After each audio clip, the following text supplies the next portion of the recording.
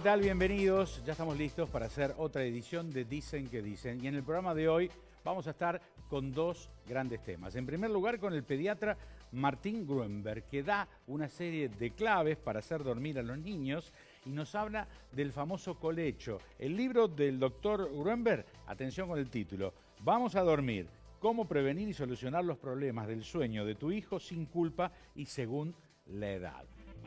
Hay que dejar llorar a los bebés hasta cuándo tienen que dormir los chicos con sus padres. ¿Es conveniente el famoso colecho? Algunas de las dudas de los padres primerizos y otros no tanto, ¿no? Bueno, respuestas en Vamos a dormir, cómo prevenir y solucionar los problemas de su sueño, del sueño de su hijo sin culpa y según la edad, el título largo del libro del doctor Martín Gruenberg. Lo vamos a saludar. Bienvenido, doctor. Muchas gracias, Alberto. ¿Cómo estás? Gracias. ¿eh? Bueno, ¿es necesario dejar llorar a nuestro hijo para que aprenda a dormir? No, no es necesario. Dejar llorar a los bebés para que aprendan a dormir es una herramienta mm. que si la usamos inadecuadamente puede ser contraproducente. Hay momentos en la evolución de los chicos que dejarlos llorar les puede hacer mal. Por ejemplo, a los bebitos menores de tres meses, llorar les hace mal. A los bebés durante la angustia de separación, llorar les hace mal. Entonces, si dejamos llorar a cualquier bebé para que aprenda a dormir, tenemos más posibilidades de generarles un daño, un problema, que de eh, enseñarles a dormir y generarles un beneficio. Doctor, ¿y qué expresa el bebé con un llanto? Mira, el llanto es la forma de comunicación preverbal de los bebés. En los recién nacidos pueden llorar por hambre, pueden llorar por sed, pueden llorar por aburrimiento, por calor, por frío, pueden llorar por un montón de cosas. Lo que es importante saber es que los bebitos chiquititos tienen una gran necesidad de contacto físico. Entonces, si los dejamos solitos y se ponen a llorar, nos están reclamando que necesitan ese contacto físico y entonces tenemos que dárselo. A ver, ¿de qué manera va cambiando el significado del llanto a medida que el chico va creciendo? Es muy buena pregunta, porque cada vez que a mí me preguntan, ¿a los chicos les hace bien tal cosa? ¿A los chicos les hace mal tal cosa? Yo siempre tengo que contestar, depende qué edad tenga. Porque en el crecimiento de los bebés, la maduración los hace cambiar tanto que a cada edad tienen distintas necesidades. Por ejemplo, los primeros tres meses de vida, los bebés se encuentran bajo una situación que es un concepto nuevo que se llama exterogestación eso quiere decir que a los bebitos menores de tres meses habría que tratarlos como si todavía estuvieran en el útero materno. ¿sí? Los bebitos menores de tres meses son el ser más vulnerable que existe en la naturaleza. Vos pensás en una jirafa recién nacida, cae desde dos metros de altura, se para y sale corriendo para que no se la coman. Es decir, nace con una maduración bastante completa. El ser humano, el bebé del ser humano, es uno de los animales más desvalidos. ¿Por qué el ser humano nace tan desvalido? Porque gracias a que somos el animal con el mayor desarrollo de la inteligencia y del intelecto, nos permitieron tener bebés muy maduros. Pero bueno, durante los primeros tres meses de vida, a los bebitos hay que tratarlos como si estuvieran dentro de la panza. Si lloran, tienen que estar en brazos, si tienen carita fea, tienen que estar en brazos, cualquier duda que tenemos, tienen que estar en brazos. Si un bebito menor de tres meses llora, debe estar en brazos, debe recibir una respuesta, debemos darle contacto físico. ¿Y por qué la edad de tres meses? ¿Es algo caprichoso? No. A los tres meses aparece un hito en la maduración de los bebés, que es la aparición de la sonrisa social. Mm. La sonrisa social, que es esa etapa tan linda que vos ves a un bebé y le haces una mueca y se mata de risa, no es un reflejo, es algo voluntario. El bebé se ríe como respuesta a un estímulo. Podemos decir que la sonrisa social es la primera acción voluntaria de un recién nacido. Entonces, si un recién nacido está en condiciones de responder a un estímulo externo, quiere decir, en cierto sentido, que también se puede malcriar. Entonces, a partir de los tres meses, en determinadas situaciones, puedo dejar llorar un poquito a un bebé para que se vuelva más independiente, para que aprenda a estar solo en el bebecit. Yo, por ejemplo, lo pongo en la sillita, estoy cocinando y el bebé se pone a llorar, yo no puedo cocinar con el bebé en brazos. Entonces le hablo. Si yo le hablo y lo distraigo, ese bebé aprende a ser más independiente. Ese bebé aprende a mirar lo que tiene a su alrededor, aprende a distraerse solo. En cambio, si cada vez que llora yo lo voy a tener en brazos, ese bebé no aprende a estar solo y solamente va a poder estar tranquilo y sin llorar en brazos. Doctor, una de las reflexiones más estresantes para los padres, ¿hasta cuándo tienen que dormir los chicos con sus papás? ¿Es conveniente el colecho, famoso colecho? Bueno, el colecho está demostrado científicamente que es un factor de riesgo para muerte súbita. Todavía no conocemos todas las causas que desencadenan la muerte súbita, pero sí sabemos cómo prevenirlo. La muerte súbita se previene con una intervención llamada sueño seguro. El sueño seguro es la forma en que los bebés se van a dormir, en las cuales mantienen el sueño y en las cuales se van a despertar. Y se sabe que el colecho, es decir, compartir la cama con el bebé, es un factor de riesgo importante de muerte súbita. Entonces, los pediatras debemos desaconsejar el colecho fervientemente. Existe una forma de colecho segura, cumpliendo 15 pautas que están dictadas por la Organización Mundial de la Salud, por UNICEF y por la Academia Americana de Pediatría, que realmente son muy difíciles de, de, cumplir. Si uno entra en la página de la OMS o de UNICEF, las va a encontrar. Entonces, si no podemos cumplir esas 15 recomendaciones para que el colecho no sea inseguro, el colecho es un factor de riesgo de muerte súbita y tenemos que evitarlo. Por otro lado, la cohabitación, es decir, compartir la habitación con el bebé, es un factor protector. Entonces sí debemos favorecer la cohabitación durante los primeros meses de vida. ¿Hasta cuándo? Y bueno, ahí tenemos que estudiar cuál es la incidencia de muerte súbita a cada edad.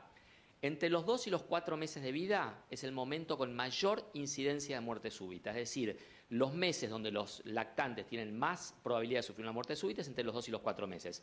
Ahí, sin lugar a dudas, el bebé tiene que estar en su cunita al lado de los padres. A partir de los cuatro meses empieza a bajar. Entre los cuatro y los cinco baja mucho, pero todavía es alta. Entre los cinco y los seis baja poquito, pero todavía es un poco alta. Y de los seis al año va bajando poquito, poquito, poquito, hasta que al año es la misma incidencia que en un adulto. Es decir, que un bebé de un año tiene las mismas posibilidades de sufrir una muerte súbita que un adulto. Entonces, ya a partir del año, el bebito puede salir del cuarto porque no necesita esa protección de la cohabitación. ¿Con qué suelen tener que ver los trastornos del sueño del bebé? ¿Con qué? ¿Con qué em, en mi experiencia, la mayoría de los problemas del sueño en los lactantes tiene que ver con la dificultad o la imposibilidad que tienen los padres para poner límites adecuados. Mm. Em, vos sabés que yo me dedico a los trastornos del sueño mucho tiempo antes de haber escrito el libro y es, es, muy anecdótico cómo surgió el nombre del libro. Yo estaba en un programa de televisión eh, hablando de, de trastorno del sueño y siempre los iluminadores, los camarógrafos, todo el mundo viene y me pregunta por sus propios hijos.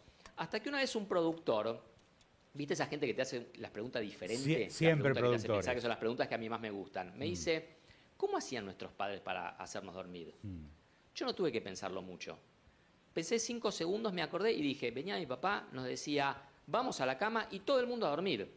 Entonces el nombre del libro, Vamos a dormir, surgió porque antes los padres decían, hay que hacer tal cosa y se hacía. Es decir, lo que decían los padres en un hogar era ley. Es decir, los padres eran los que determinaban qué está bien y qué está mal, qué se hace y qué no se hace. Por supuesto que no todo tiempo pasado fue mejor, pero en algunas cosas tenemos que retomar esas cosas que se hacían bien. Eh, un hogar no es una democracia. En un hogar no se hace lo que dice la mayoría, no se le pregunta a los chicos todos los días, ¿qué querés comer, mi amor? Y hoy, hoy quiero este, milanesa con dulce de leche. No, uno puede ofrecerle opciones, pero el que decide qué se come, cuándo se come, a qué hora se come, dónde se duerme, a qué hora se duerme, son los padres.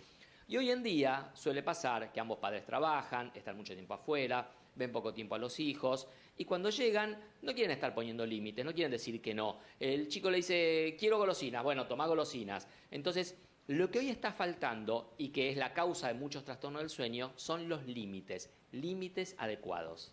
¿Hay que preocuparse si los chicos tienen pesadillas con, con mucha frecuencia, doctor? No, la pesadilla es un fenómeno normal del sueño eh, la pesadilla es un sueño atemorizante, por lo cual el chico se despierta, recuerda el, sueño y no quiere volver a dormirse. Es una manera de procesar los eventos del día. Imagínate que hay chicos que se van a dormir en la cama de los padres viendo la tele, noticieros, este, guerras, eh, secuestros, mutilaciones y después lo ponen a dormir. Entonces, ¿cómo hace para procesar toda esa información? Una manera de procesarlo es con las pesadillas. Ahora, un chico que se despierta con pesadillas todas las noches, Está bien, tenemos que investigar a ver si no le está pasando algo estresante superior a eso. Mm. Los chicos pueden sufrir de estrés infantil.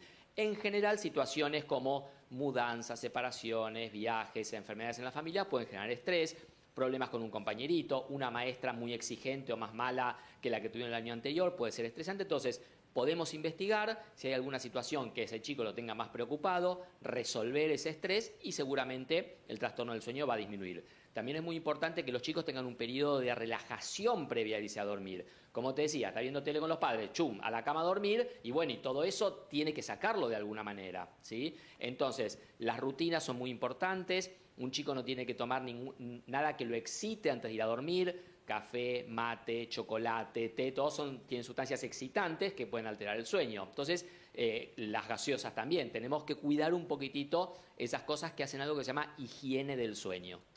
El nene duerme siesta y le cuesta dormirse de noche. ¿Siestas sí o siestas no? Depende de cada chico.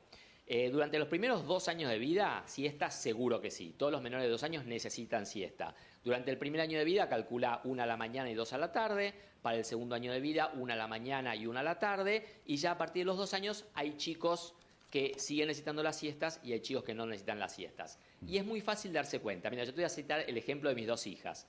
Mi hija mayor, en el tema del sueño, es bastante parecida a mí. Nosotros no dormimos, nosotros hibernamos. Cerramos los ojos y hasta que alguien nos viene y nos, nos sacude no nos despertamos. Y durmió siesta hasta que empezó doble escolaridad en sala de cinco. Es decir, que hasta bien entrados los cinco años, ella necesitaba dormir una siesta. Y si no dormía la siesta, se ponía de un humor que te la encargo. Mm. La chiquita, que más parecía a mi señora, que es la última en dormirse y la primera en despertarse, tiene el mismo ritmo. Fue siempre la última en dormirse y la primera en despertarse. Y a partir de los dos años dejó de dormir la siesta. Y si por algún motivo se quedaba dormida, por ejemplo, un fin de semana volviendo de alguna quinta o, algún country, llegaba a dormirse 4 o 5 de la tarde, a la noche teníamos baile. Es decir, que a la mayor teníamos que estimularle las siestas y a la chiquita teníamos que inhibirle la siesta porque si no después a la noche no dormía. Entonces, eso tenemos que saber cada chico. Menores de dos años y medio, seguro que necesitan siestas. Vamos a dormir. ¿Cómo prevenir y solucionar los problemas de sueño de tu hijo sin culpa y según su edad? Tu nuevo libro, Martín, gracias eh, por estar en contacto con nosotros. Eh. Un abrazo grande y hasta aquí. Gracias a vos, Alberto. Hasta siempre, eh. el doctor Un abrazo enorme. Chao, Martín. Martín Gruenberg.